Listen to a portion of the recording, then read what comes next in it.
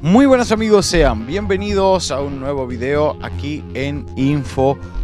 Estamos con información de última hora y de último minuto. Preocupaciones han surgido en Rusia luego de que Estados Unidos proveyera a Ucrania con una de las armas más poderosas que ha tenido Ucrania hasta el día de hoy podemos observar que Ucrania ha recibido por parte del paquete de ayudas que le brinda Estados Unidos un artefacto que es totalmente prohibido en más de 100 países. 100 países y esto pudiera ser la clave definitiva para que Rusia venza a Ucrania.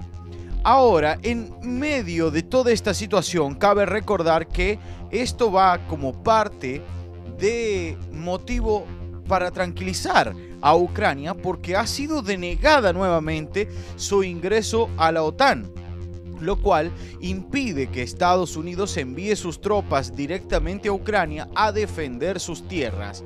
Por parte del actual presidente de Ucrania, Volodymyr Zelensky, hace eco de todo esto y está muy enfadado con Estados Unidos por no permitirle el ingreso necesario para que esto suceda.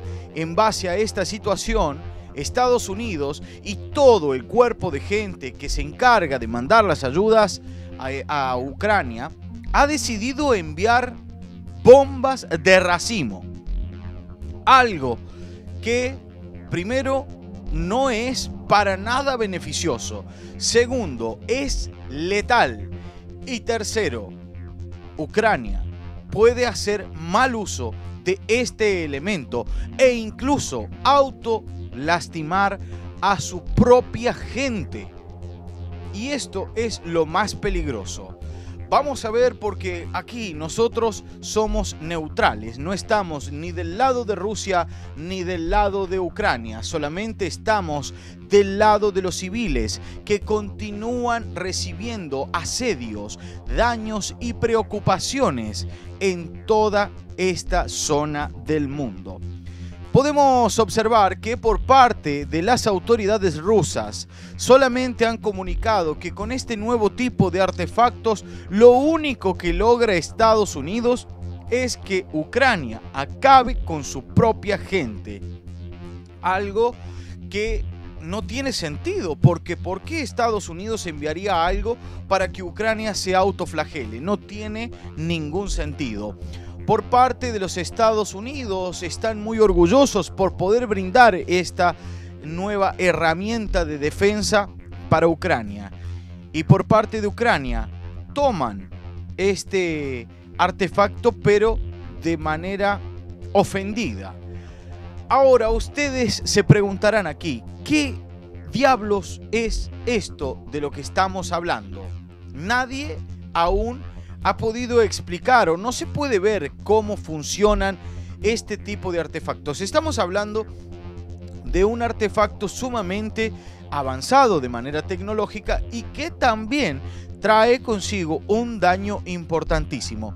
Esto está prohibido en más de 100 países, más de 100 naciones lo tienen totalmente prohibido. Por parte de Ucrania, han hecho por, desde Estados Unidos que se comprometa a no usarlas en vano.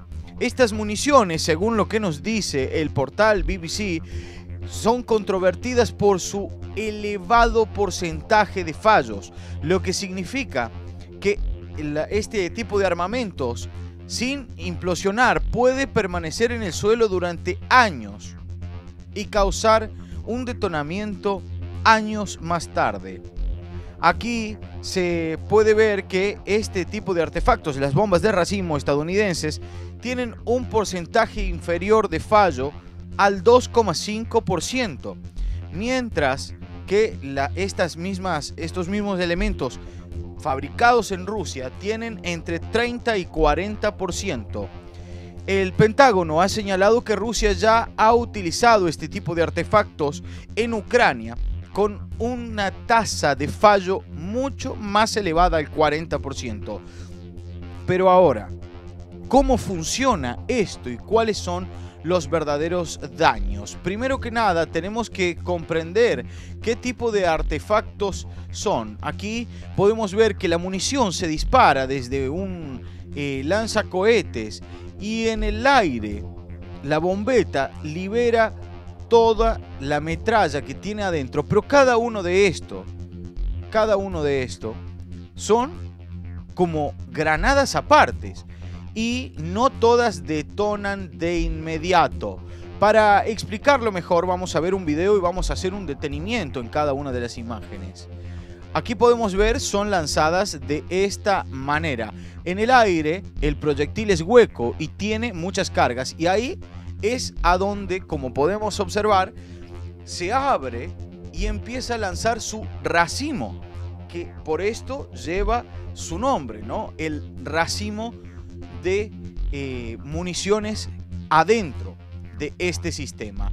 Luego de esto son lanzadas y durante la trayectoria previa al impacto, como nos dicen aquí, hacen detonación en el aire o bien en el suelo. Pero aquí tenemos un grave problema, que cada uno de estos proyectiles, vamos a ponerlo nuevamente por aquí, cada uno de estos proyectiles que se abren, no todos se inician al tocar la superficie de la Tierra. Algunos pueden quedar hasta años o décadas en el suelo hasta que alguna persona de manera inocente toca y activa todo el sistema de detonación que tienen dentro este tipo de artefactos. Entonces, aquí ya podemos observar de que es un arma de doble filo que de seguro, como lo han explicado desde Rusia, esto traerá más problemas para Ucrania que soluciones. Entonces, Ucrania no tendría la capacidad de acabar directamente con Rusia. Estamos hablando de que puede salir mal. Y esto, si sale mal, la cantidad de civiles que se verán afectados serán muchísimas. Y aparte, atención, si esto sucede aquí, habrá un solo culpable. Si saben cuál es el culpable, pónganlo en los comentarios que los estaré leyendo y el que acierte a lo que nosotros creemos que quien será el culpable, le daremos me gusta a ese comentario.